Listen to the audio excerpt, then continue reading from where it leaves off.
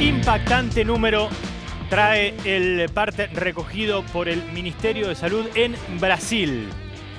Más de 4.000 muertos, 4.195 fallecimientos, lo cual establece como el récord en dicho país.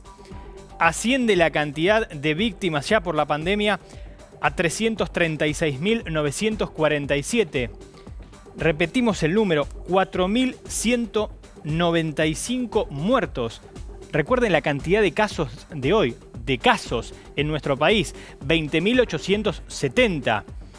Aquí hablamos de fallecimientos, más de 4.000.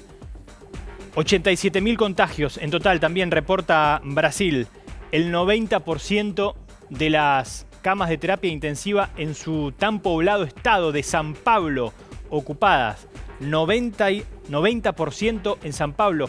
Varios de los otros 26 estados también con su sistema sanitario al borde del colapso.